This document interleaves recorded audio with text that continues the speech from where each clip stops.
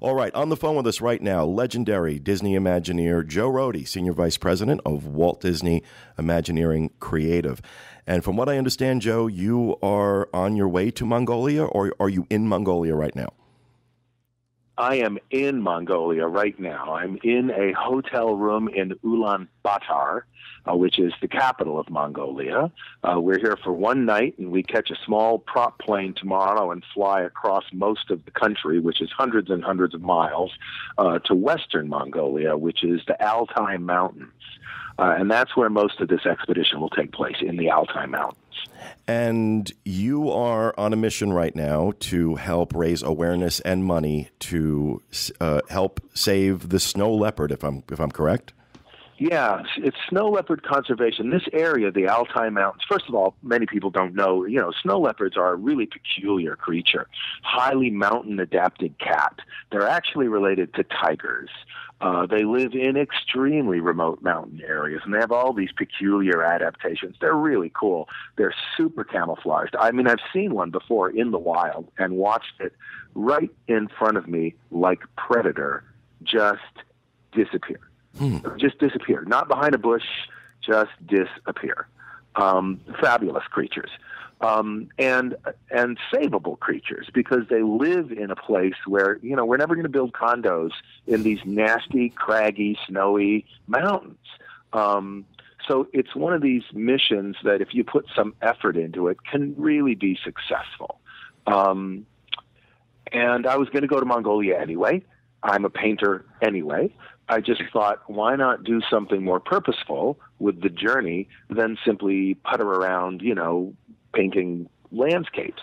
Uh, so it all sort of came together as partly a kind of an aesthetic adventure, uh, partly a, a, serious desire to do something meaningful in conservation.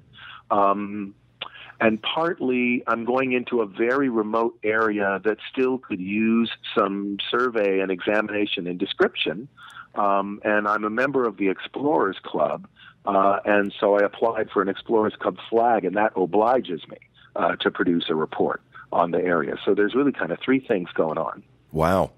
Now, um, you know, you, uh, obviously, as the uh, creative force uh, behind Animal Kingdom, your uh, your interest in conservation and awareness certainly woven into the the fabric of that project what what is it that you plan to do in Mongolia to raise money? You said you're going to be doing some painting and some some yeah. landscapes. Yeah. So I have this idea. I'm going to do these very uh, the biggest paintings I can do. Mon- Mongolia is a big place, um, and I feel like it deserves these big paintings. So I'm taking two easels, not one, so I can stretch a canvas that's probably about five feet wide by four feet high. Have to rig it like a tent. Uh, and then, in order to get these paintings done, I have to do a painting in a day. I'm trying to do 10 paintings uh, have no more than a day to get these paintings done. So they're going to be very, almost like abstract expression and really brushy, really vigorous paintings. And they're meant to kind of capture the spirit of this wild land that has this wild animal in it. Um, I'm going to try to not use brushes. I'm going to make brushes out of camel hair and horse hair and eagle feathers, and uh, so it should have this really um, raw quality to it. I think it's going to be very exciting that way. Then, once the paintings are done, there's a big art show here in Ulaanbaatar at a gallery called 976 Gallery. Very prestigious. As a matter of fact, the art that's up on the walls right now, which you can see if you go to their website, is really intimidating because it's really good. Um, and uh, so it'll be up there for one night. It's a one night show. And then what doesn't sell in Mongolia comes to the U.S., and then I'll sell it there. All the money goes to the Snow Leopard Conservancy, and they give it to this group called Irbis Mongolia, and they spend it on field research and conservation. Oh, um, wow. So I'm trying to field this money directly. Just I learned this from the Disney Wildlife uh, Worldwide Conservation Fund. You want the money to go to the field uh, to, as deep into the field as you can get because that's where that money goes the furthest. So this really did this this really did kind of evolve from your work with Animal Kingdom. Oh, totally.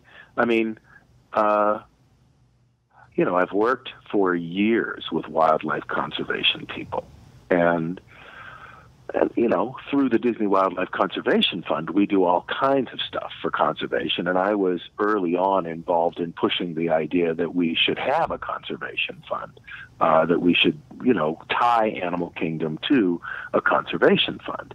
Um, but I hadn't, I haven't had the opportunity to do anything of any scale on my own. You know, mm-hmm. that, that was. Uh, I've done a few paintings for donations to auctions and things like that, but nothing of this scale.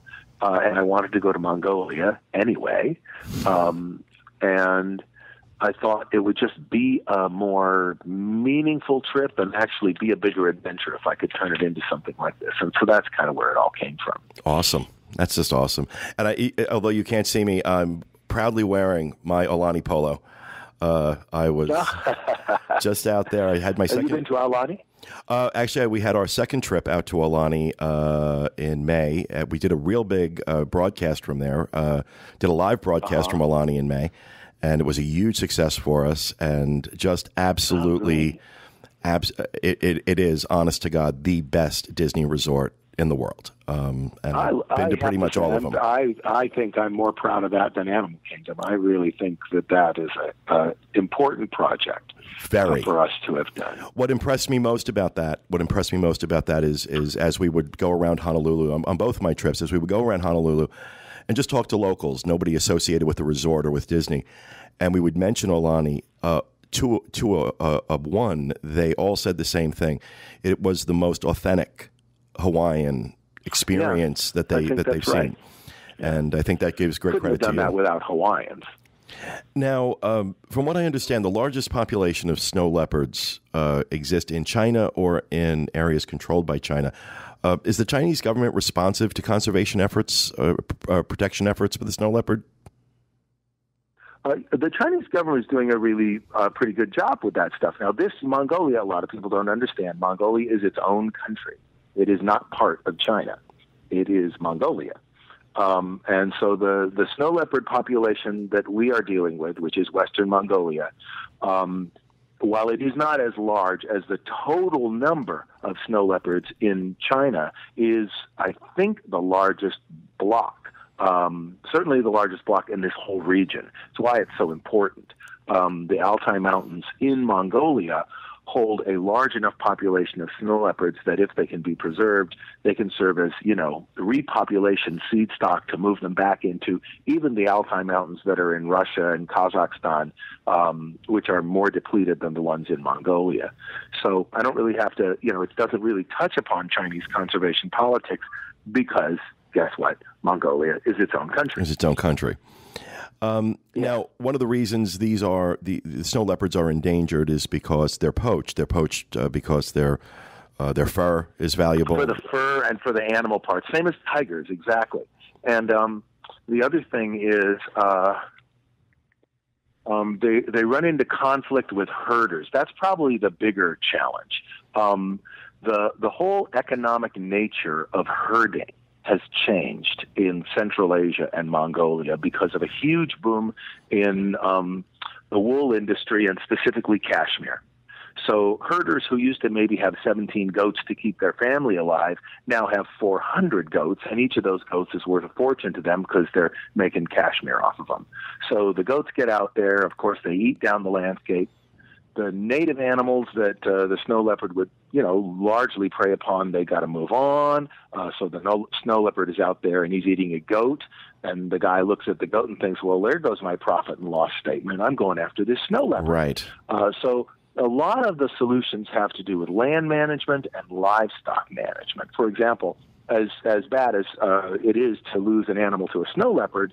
Um, they lose more animals to veterinary problems. So if you fix the veterinary problems, you know, you could balance out the population of animals, you know, better probably than than just trying to go directly after the snow leopard problem.